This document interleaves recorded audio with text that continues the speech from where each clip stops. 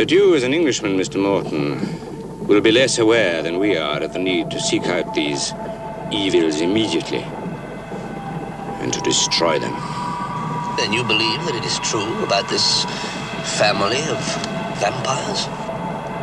I know that it is true. If I may be allowed to suggest, your niece, Carmilla, would be more than welcome to stay with us. My daughter would be grateful for the company. Don't you wish some handsome young man would come into your life? No, neither do you, I hope. There's been three deaths round here lately. None of them by natural causes.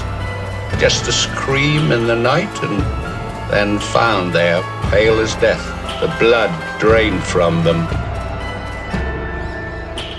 You're so sensitive. Only about some things. And about you. Silly. Why about me? Because I love you. And I don't want anyone taking you away from me. You know you'll always be safe as long as you're with me. I want you to love me for all your life.